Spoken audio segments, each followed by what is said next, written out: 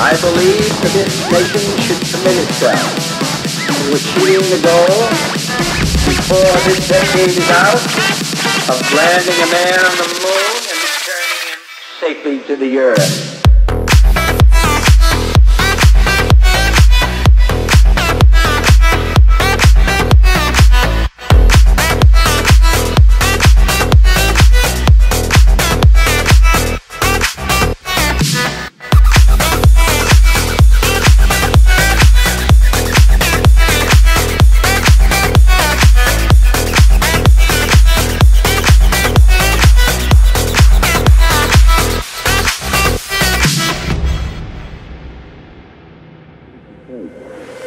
Since early in my term, our efforts in space have been under review.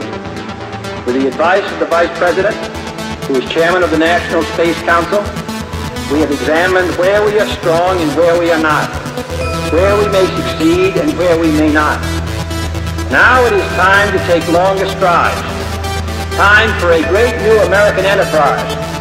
Time for this nation to take a clearly leading role in space achievement.